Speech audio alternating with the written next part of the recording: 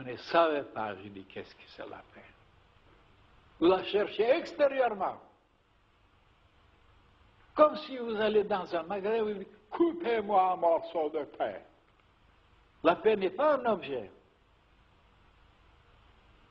C'est un état de conscience. Quand? Quand l'intellect, le cœur, la volonté, le sexe, le ventre, tout ça, ils sont en connivence, ils sont en harmonie, ils sont en accord, ils se dirigent vers la même direction, vers le même but.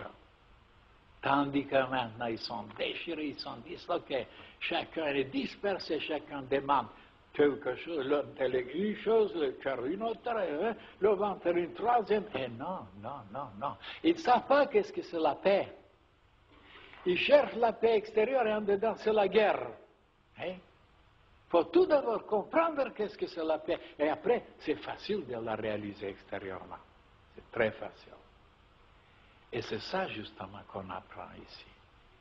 Au lieu d'avoir tellement de désirs, tellement de... de, seul un but, comment se perfectionner? Voilà un but, un idéal. Comment devenir le modèle, comme le soleil.